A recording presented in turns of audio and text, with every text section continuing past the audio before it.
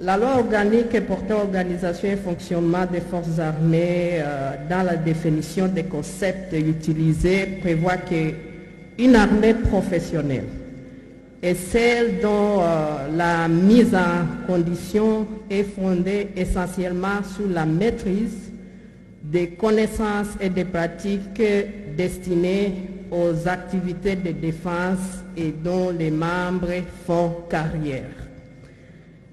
Et une armée républicaine, c'est celle qui est respectueuse des lois et des institutions de la République et soumise à l'autorité civile.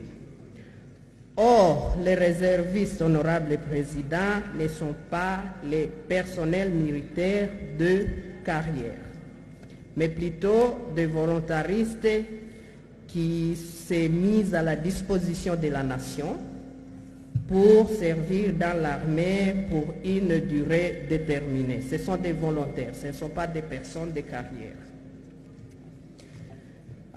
la loi, c'est ainsi que la loi aussi doit intégrer les choix des corps dont les volontaires euh, euh, peuvent servir en tant que membres de réserve. C'est-à-dire, on peut considérer euh, l'infanterie, la défense aérienne, l'artillerie, la génie, renseignement, signaux, logistique, formation et défense nationale et j'en passe.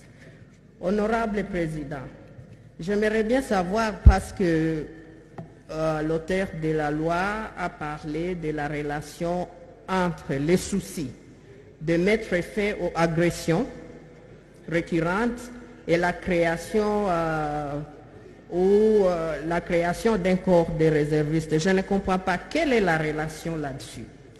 Parce que quand nous nous référons à l'article 63 de notre Constitution, honorable Président, qui parle d'un service obligatoire, qui peut être euh, institué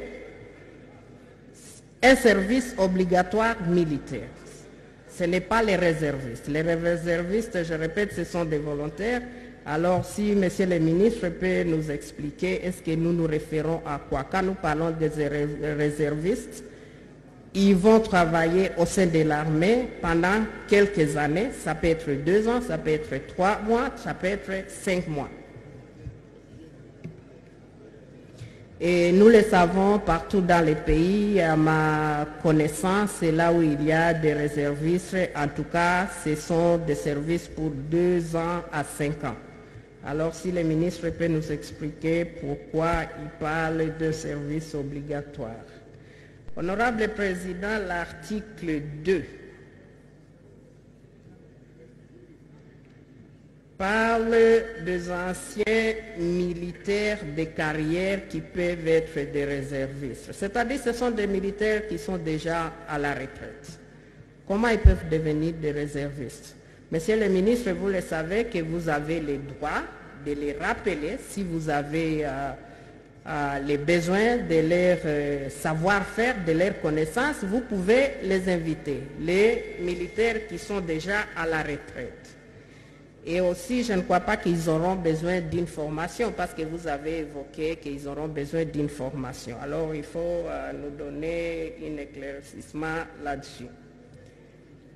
Euh, et aussi, c'est quelles catégories qui seront soumises à la formation? Moi, je pense que ce sont des jeunes gens, peut-être des civils. Vous avez évoqué euh, l'âge de 18 ans. Moi, j'aurais proposé, nous savons, nous connaissons euh, nos enfants.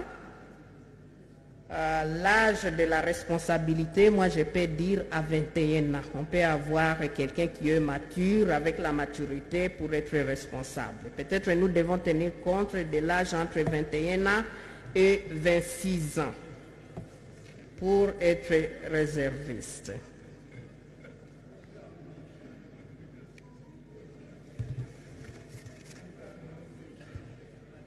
Vous avez aussi euh, prévu les critères d'admission au sein du corps des réservistes. Je viens de proposer que nous devons tenir compte de l'âge. Je propose les 21 ans à 26 ans. mais et aussi j'ajoute euh, sur les critères de ne pas quelqu'un qui n'a pas un rapport criminel. Parce que là, on a éliminé ça. Et je pense que nous ne devons pas euh, soumettre les réservistes qui veulent devenir, euh, qui veulent servir la nation.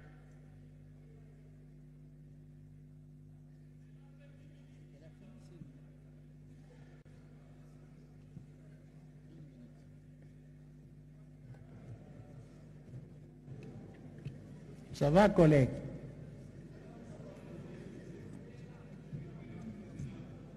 Encore une seconde. Merci bien, honorable président.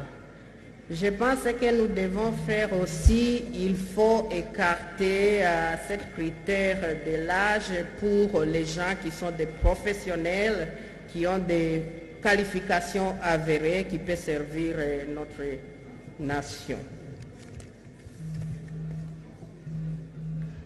Honorable Président, à l'article 4, Monsieur le ministre parle d'une démission volontaire. À ce qui concerne euh, la perte de qualité. Moi, je pense que c'est un service volontaire. Alors, on ne peut pas parler de la démission acceptée.